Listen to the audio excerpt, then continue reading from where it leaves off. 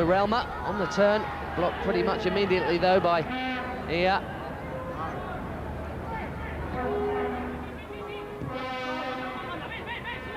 Barcelona come again, bit of room to work here.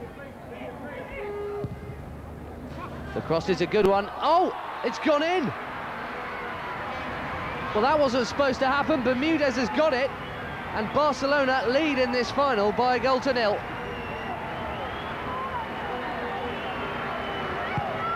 Rhys Taylor will not be happy about that. And I'm not sure he meant it. He's beaten his man Bertrand there. Surely that's a cross. If it's not, it's one hell of a goal.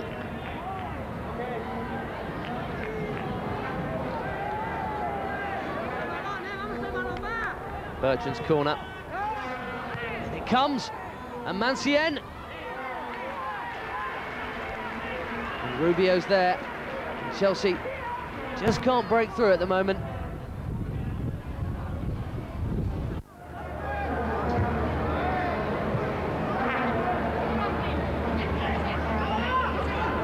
It's Kamani again. And Gutierrez with a shot. Oh, that's a top save from Rhys Taylor. That's a really good save from the young keeper. And he's kept his team in it. Gutierrez hit that very hard indeed. And Taylor's done really well.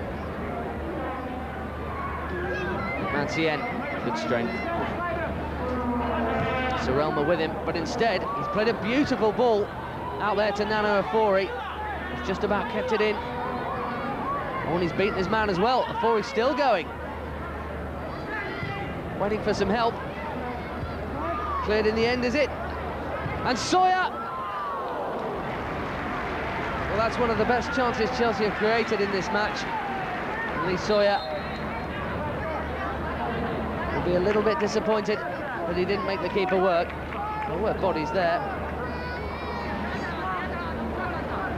15 minutes left. Bermudez, oh, always done well.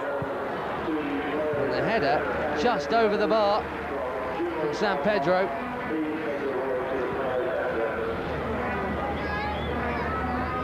Strong run.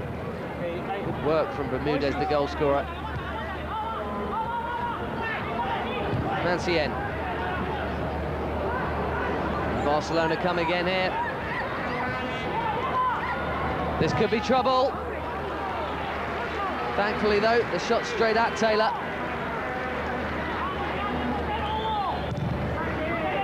Quite an acute angle for Garcia in the end. Took it first time, though. Injury time. Ofori's up there.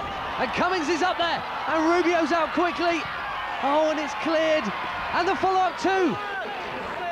Rubio saved that as well. Here's the corner towards Cummings. And Rubio is a busy goalkeeper. It's still not clear. He's dived on it finally, and I just wonder if that'll be it for Chelsea's chances in this final. Full time it is. It's been a fantastic tournament for Brendan Rodgers' youth side. Today, though, the joy is all Barcelona's.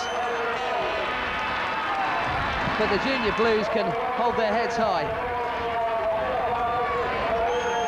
All the way to the final.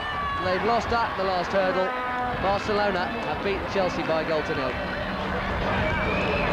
I think you could see the level of performance today compared to the other four games was, was nowhere near it. And uh, I said, I was I was disappointed for the boys. Um, as I said, because they've given so much this week, and, and, then in the biggest game, we just looked physical. We just weren't sharp enough today. So, uh, but Barcelona, they, they can have no, uh, they could have, as I said, no embarrassment because they're a fantastic side.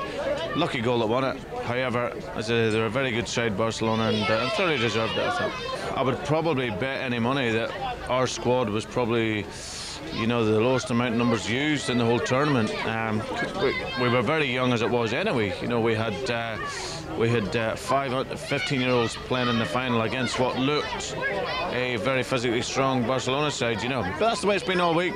It's a great experience, and uh, disappointing to lose, but to be a winner, you must be a good loser. Think now, in terms of the development uh, worldwide, you know, teams like Barcelona and Porto and Benfica and CSKA Moscow, when they're coming to tournaments like this, then we have to be in there competing against those to develop our future talented players. And um, I think everything on the pitch, off the pitch, has been terrific this week, and so uh, a massive success, you know, which is great. And so a trip that far outweighed expectations for all concerned. The players have grown in stature in such a short space of time, and yet were essentially still in pre-season. One thing's for sure, Chelsea had left their mark on the 2005 Milk Cup.